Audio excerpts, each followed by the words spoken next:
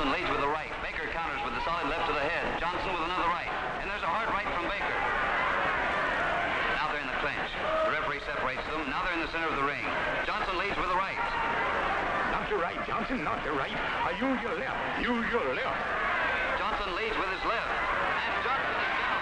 One, two, three, Uh, sorry. four, five, six. Is the fight over, George? Yeah, it's over, but there's going to be another in a minute. Darn right there is, if you don't keep this thing shut off.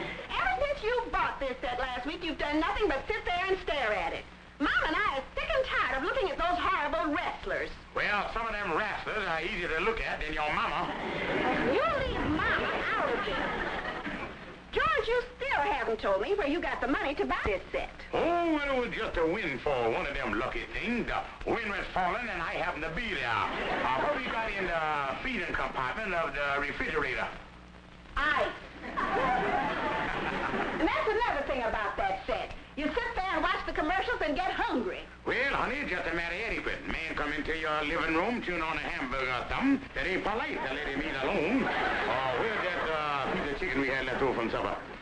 Mama ate it. Oh, I thought old Salmon Fighter was going out to dinner. She is. She's getting dressed right now. She's going formal. Oh, an evening gown, huh? Well, every time she get into that thing, she look like a dozen cannonballs in a chiffon bag. George? Oh, hello, Mama, darling. Oh, Mama, you're getting more beautiful every day. George Stevens, where is my diamond and ruby pin? Hmm, just like a vision out of a dream. George Stevens, where is that pin? You took it over a week ago to get the clasp fixed. Yeah, that been a week? Yes. Just about the time you came home with that new television set. Well, now, ain't that a peculiar coincidence? Very peculiar. George Stevens, what have you done with that pin? My sister gave that pin to me. Them diamonds and rubies are real, and it's worth over $200. And if anything... Oh, Mama, there ain't nothing gonna happen to the pin. Now, you see, that class had uh, Swiss movement, and they had to send to Switzerland to get the parts. Well, the parts man over there, well, uh, he about out climbing the motor horn or something like that. We, uh, that's a wheel. I don't want no phony excuses. I want that pin, and I want it quick. I didn't just give the kingfish the money, Amos. Uh, he gave me this pin as collateral until he paid back the hundred bucks. Oh. Andy, now you're getting smart. Yeah, I wised up to that kingfish. But you better get this money back to me before I go on my vacation.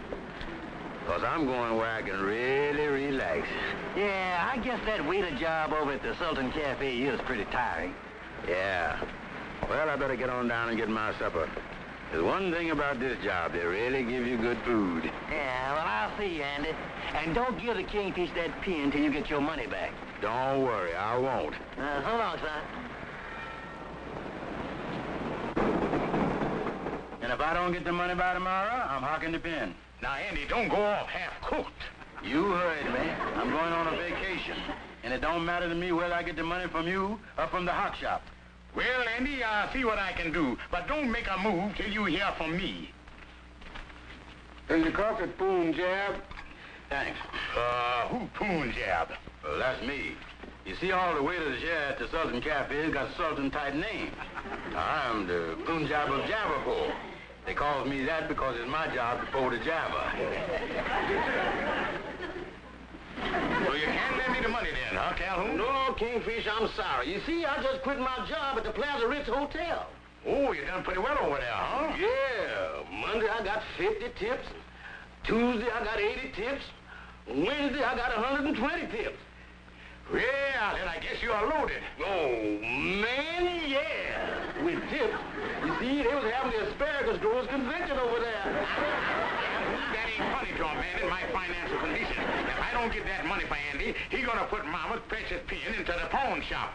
Old crocodile will be nipping at my withers. Listen, Kingfish, if I'd have done better at the hotel, I can help you. Uh, being kind of slow over there, huh? Slow. It's so quiet in the lobby uh, that the house detective keeps in practice by shadowing the potted palm. I heard the manager say he was thinking about hiring a press agent to give the hotel some publicity. You know, boom up the business. Hmm, a press agent, uh that be pretty good. with the expense account and the salary and all, uh, man probably could pick up a hundred bucks uh, right fast. Uh, what's his name? Uh, name Simpson. Um, well, I guess I'll go over there and see Mr. Simpson, see can I make a deal to publicate up the place. But Kingfish, you don't know nothing about being no press agent. Oh, Calhoun, there's nothing to it. All you gotta do is uh, call up a few columnists, plant a flash, and dig up a little scoop. Yeah, but you don't know no columnists. Calhoun, I done thought of that. Now, you wait right here and give me a few minutes to get over to Mr. Simpson's office, and then you call me up over there every two or three minutes. Oh, You, old rascal, you. We need publicity badly. Have you got good newspaper connections? Oh, I got connection with all the top columnists in the world. Uh, by the way, uh, there been any calls for me? No. Hello? Stevens? Yes, he's right here. It's for you. Oh, uh, hello? Oh, hello, W.W. Did you get them initials? WW. Walter Winchell. Holy now wherever I go. Uh, okay. I'd like to give you that hot item, but I don't promise it to uh, Ed Sullivan. But just as soon as you know who goes out with that there movie star, I give you the tip. Okay, WW, give my regard to Mr. and Mrs. North America and all the ships at sea. Oh, that's just a little secret code we got. Well, goodbye, WW. Now, where was we, uh, Mr. Simpson? Was that Walter Winchell? Mr. Simpson, a good press agent never give away any of the tricks of the trade. Well, our problem is... Stevens? Right here. Hello? Hello? It's me again. Oh, put her on. Hello, uh, famous lady Hollywood columnist. She don't like for me to mention her name. Yeah, I was expecting a jingle from Carrie, but I guess I missed the call because uh, I had with Tallulah at Clark's party. Oh, uh, you're leaving town. Oh, well, then, uh, when I super chiefs out to the coast, I'll see ya. Well, don't take no wooden scoops. uh, goodbye. Later. Now, Mr. Simpson, uh, what was we saying? Uh, Well, Stevens, I think we can work out a deal if... I know, it's for me.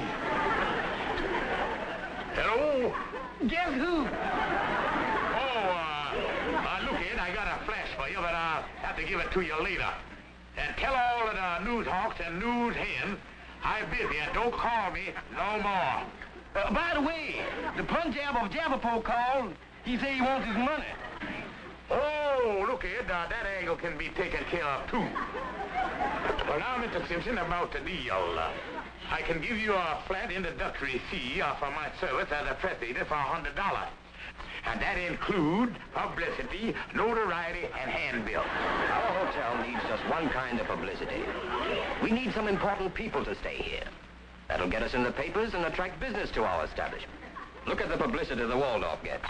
They have the Raja of Pakistan staying there. Well, old Raj. Well, now, if I had known that sooner, I could have got him to stay here. Well, do you know anyone else like that? Hmm, Raja. A thought just hit me. Mr. Simpson, how would you like to have as a guest in your hotel the Punjab of Javapur? Name is familiar. Is he an Oriental potentate? Why, he's the most potent potentate they got over there. You can arrange that. You've got a deal. Just as easy as eating shish kebab. Now, how about the hundred dollars? You produce the Punjab, and you'll get the money. Well, in the vernacular of the press agent, there's good news tonight. Well, goodbye, Mr. Simpson. Goodbye, Mr. Stevens. Uh, sounds good, all right. Uh, but why is the hotel doing all this for me just because I was walking in in this outfit? Well, I tell you, Andy, the hotel wants to impress their guests with the fact that they cater to the royal clientele. And they use you for atmosphere, just like they used you over at the Sultan Cafe. Oh. Yeah, and Andy, if you didn't wear that Punjab outfit, the people in the restaurant wouldn't think that they was getting the real East Indian shish kebab. Yeah, but the people living at the hotel are gonna know I ain't no Punjab the minute I opens my mouth. I don't talk none of that Punjab talk. Andy, you don't have to open your mouth. I do the interpreting for you. In fact, we make you look pretty good. We're gonna buy some of that costume jewelry from the dime store, and you can pass it out for tips. And the gal that works in the hotel, I like that. Yeah, it ain't gonna cost me a single cent. Now I get my hundred bucks back besides. Positively, Andy, positively. Now you can uh, just give me Mama's pen, and I'll take care of everything.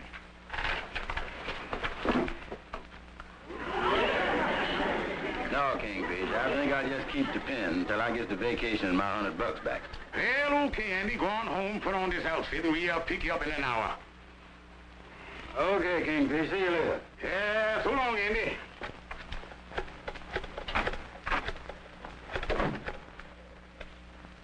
Hello? Simpson, please.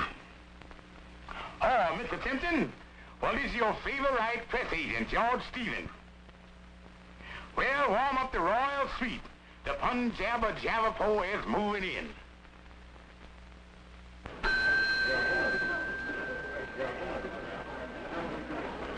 A boy, take these up to the royal suite. Make sure there's plenty of ice water and see that the incense is burning. The Punjab should be here in a minute. Yes, sir.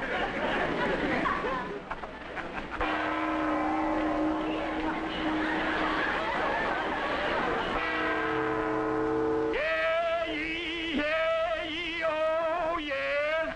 His Royal Highness, Prince of the Himalayas, Keeper of the Bengal Tigers and benevolent Pasha of the Upper and Lower Ganges, by the appointment of His Royal Majesty, the Punjab of Javapur.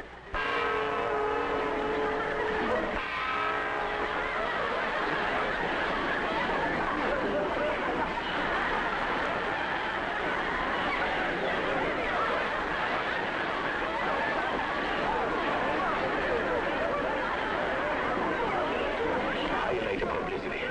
Did you? Ah, you better come greet the Punjab.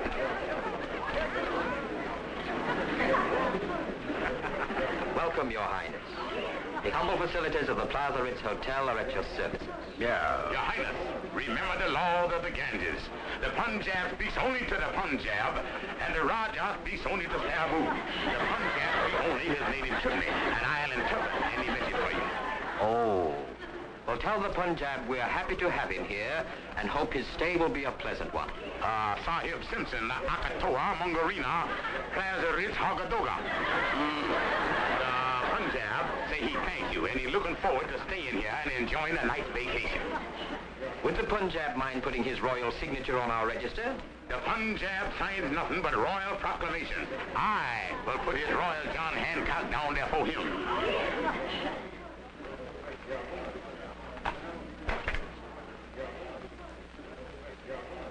Now park the elephant in the garage and on to the royal suite. Right this way, please.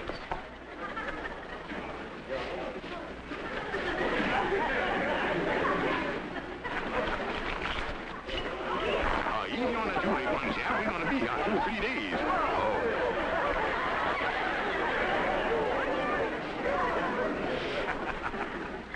Well, Calhoun, the press agent thing going fine. Well, I'm so glad to hear that, Kingfish. So glad to hear. Yeah, I got a date at 3 o'clock to meet Mr. Simpson, the manager, and he gonna give me the hundred dollars. Well, that's good.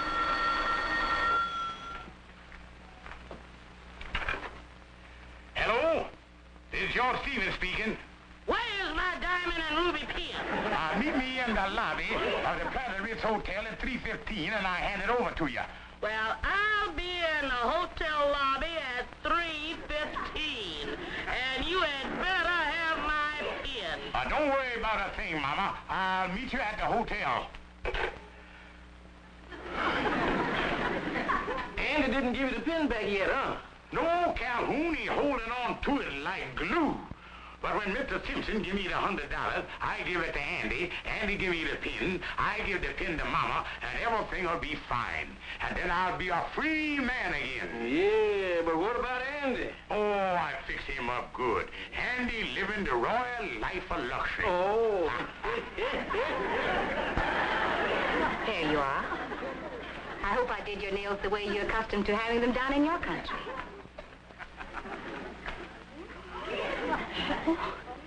Thank you, Your Majesty.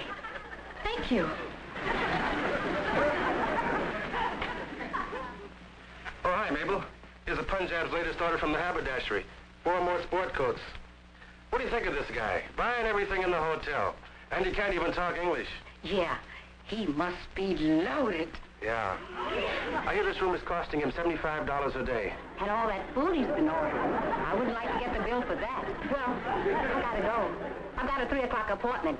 See you later. Okay, bye. Well, Mr. Simpson said he would meet me here at 3 o'clock. Oh, but I'm sorry. Mr. Simpson phoned and said he'd be detained. Hmm. Well, Mama will be here. I'll tell you, couldn't you just give me the money? Oh, I'm so sorry, but I have nothing to do with that. Hmm. Uh, you mind if I use the phone? Help yourself. Uh, give me the Royal Suite, please. Hello. Uh, uh, I'm in Ungadunga. Oh, uh, okay, Punjab. Andy, this is me. Look, I on a spot here. I got to have that pin, cause Mama will be here any minute now. Uh, you got the money, Kingfish? Well, it's coming up, and I'll give it to you just soon as I get it. Nothing doing. And another thing, I heard the bellboy say this room is costing $75 a day, and they're going to charge me for the food and everything. I thought I was getting all this stuff free for being the atmosphere. Well, that's uh, just the hotel subsidy of letting you know the extension of their hospitality. Well, that better be right. It is. Uh, now, how about the pin? You ain't getting the pin till I gets my money.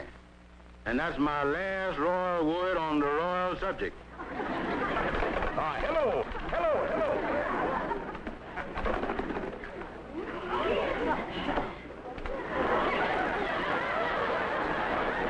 station.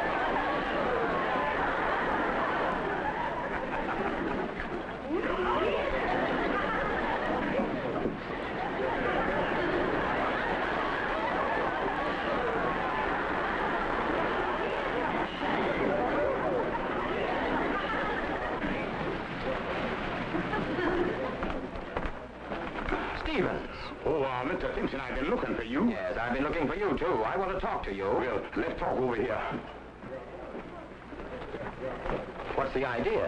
Uh, well, it's cooler over here. The heat's on out there. Now, Mr. Simpson, uh, about the money. I'll take it in fives, tens, dirty twenties, or whatever way you have it. Before we discuss that money, we're getting worried about the Punjab's bill. Oh, there's nothing to worry about. I'm sure it's correct. I know that. But he only checked in here a few hours ago, and already he owes us $326.18. 18 cents, huh? Yes. And since we have no credit rating on the Punjab, you are responsible for this bill. I is, huh? Yes. You brought him in here. You even signed the register for him. Well, uh, I just on my way to the bank now. I'm gonna uh, have some of the Punjab's uh, rupees transferred into pound sterling. I'll be right back. I thought you were going to the bank. I just happen to remember I got to go by the travel bureau to see about some traveling. You know, the Punjab's uh, return, you know. The traveling bureau is closed. Oh, well, then I guess I'll go on down to the hotel drugstore.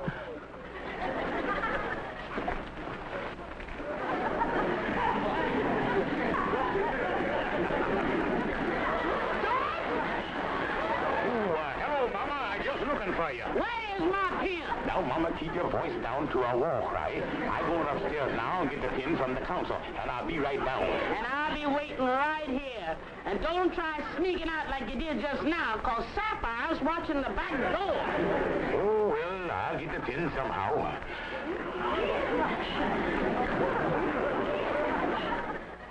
Well, hello, Andy, old Punjab. Now, don't give me that soft soap treatment, Kingfish. No money, no pin. I didn't mention the pin, did I? Where is it? Here. Where's Steve? Oh, well, Andy, I brought a little present for you. What is it? Well, it's a bottle of that there uh, imported, uh, super fragrant, for the royal family only bath salt, presented to you with the admiration of the manager. That's it. Mmm. Smell pretty good. I'll try 'em later. Oh, no, Andy, you got to get in the tub right now, because the manager's waiting down there to see how you like it. And if he do, why, he's liable to order you a couple of cases, free of charge. Well, all right. Now, come on, Andy. Uh, don't keep the man waiting. Come on, son. Now, Andy, you can move faster than that. Oh, Come on, son. Get right on in there. Yeah, now get on in there, Annie, and pass your clothes out to me, and I'll get your pantaloons pressed while you're throwing yourself in the tub. Nothing but cheap costume jewelry, huh? Yeah, he's been tipping everyone in the hotel with that cheap junk. Miss Weaver, bring me the Punjab's bill. Yeah. Uh, is this all, Andy? Yeah. Well, take your time in the tub in there. Okay.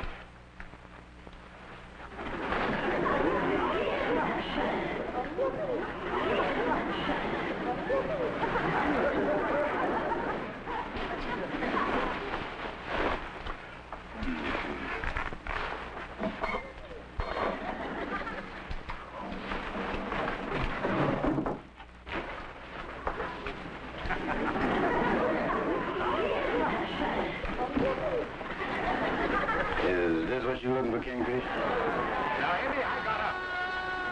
Andy, that's probably for you. Two of the company, three of the crowd, so I'll just slide under the bed with a good book. Oh, no, you don't. You're going with me. Come in. I, I'm in Huggamugger. Oh, uh, hello, Mr. Simpson. I just on my way to the bank again. Oh, just one moment. Would you mind telling the Punjab we'd like to have some money on his bill? It's $328.75.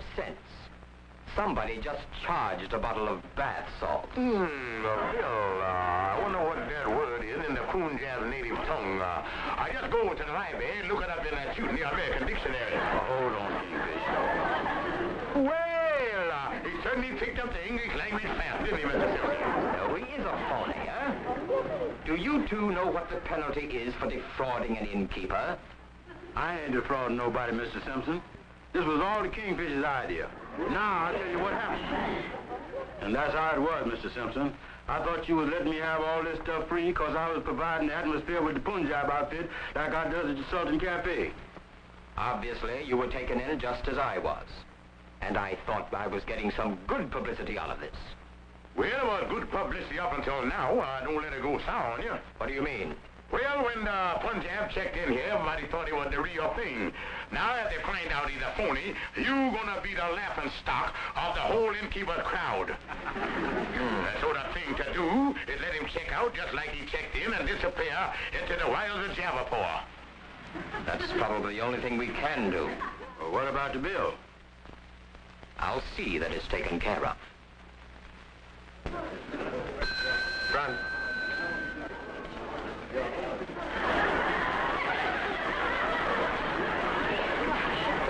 Take this up to 324. Yeah, but Mr. Simpson, how much longer I got to go on hopping bills? Oh, about two more weeks, and the Punjab's bill will be paid up.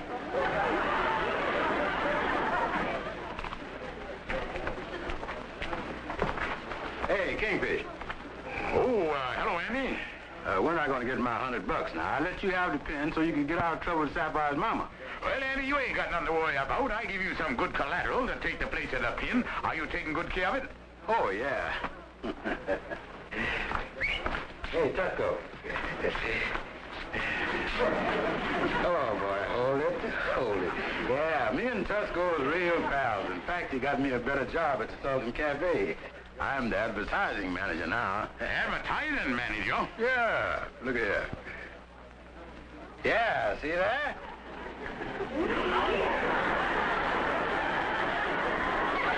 Come on, Cisco.